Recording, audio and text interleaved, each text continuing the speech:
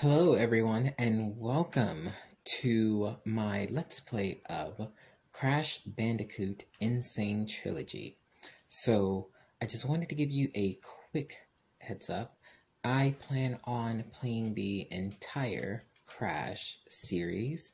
Um, I've never played it before when I was younger. I actually started out on Crash Bandicoot 3 Warped before I went to Crash Team Racing. So playing the first Crash Bandicoot game is actually going to be a bit of a experience that I never had, which is also a bit exciting for me as well.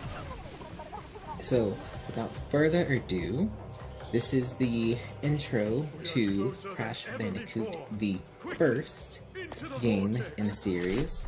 Although it has been remastered, the graphics are completely different from when it was on PlayStation 1. I am playing this on PlayStation 4, and hopefully when the new PS5 comes out, I could play it on that as well. Failure again! Him! Uh-oh. Prepare the female bandicoot.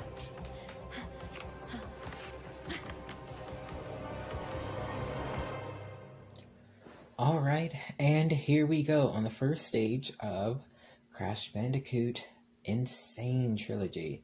Right now this is N. Sanity Beach, which is our first stage we will be going through. So, as you can see, Crash just washed up off the beach from leaving Cortex's lair. Now, here, basically, every box that you see is gonna have something different in it. The question mark boxes can have Wumpa fruit, which is the fruit you see right here.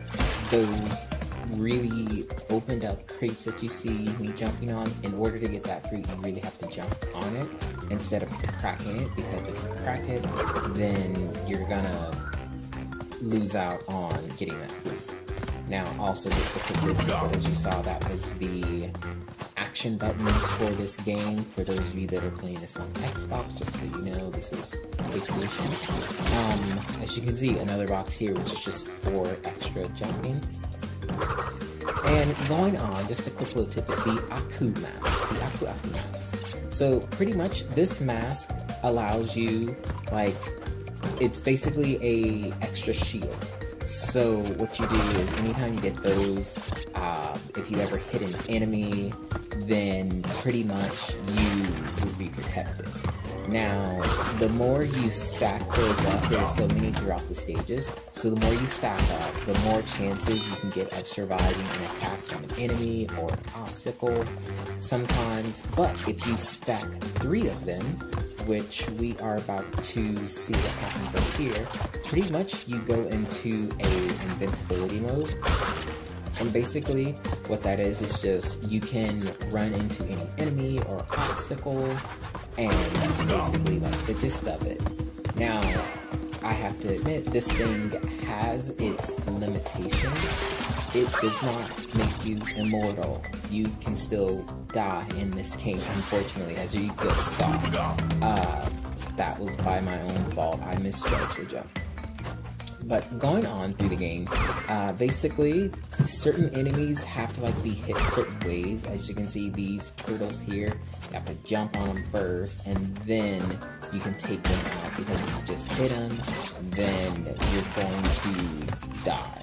This is one of those like games in the 90s where if you got hit once, then that was it. But they made up for it with the easiness of getting extra lives. So as you can see here, um, I just wanted to point out, I am a very cautious gamer. So if you see, like, just there are times I'm doing that, just understand that is why. Uh, I don't try to do that intentionally, that just happens. It's, it happens all the time.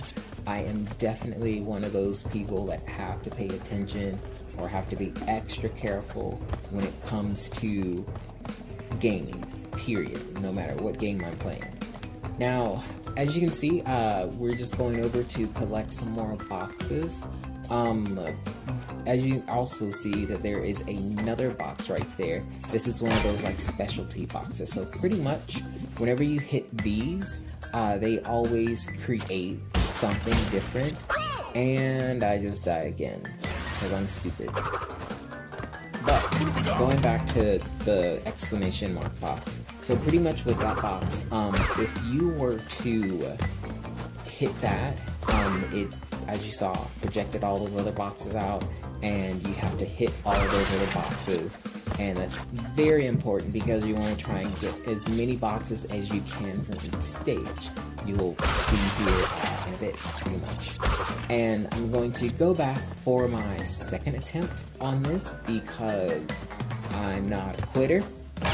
Some people might be, but here we go. And one, two, three, four, five, six, seven, eight, nine, and ten. And we made it. And we gotta get the other turtle. So since I died before, after that checkpoint, I gotta go back and get some boxes from over here. And as you can see, this is going to be a quick notion as to why those Aku masks are very important. See, turtle ran into me and I lost the Aku mask. But if I had a second one stacked up on it, then I would still be stuck with one. But if I didn't have any, then I would have to start back over from that checkpoint and that would be very upsetting. And also, so if you collect all crates in each stage, you get that little diamond, ruby, gem, whatever you just saw. And at the end of the stage, he does this little dance if you get a perfect score, which is just you getting all the diamonds or gems, boxes, crates. And that's going to be it for this stage. I just want to say thank you guys very much for tuning in on my Let's Play of Crash Bandicoot, and I will see you guys for the next stage.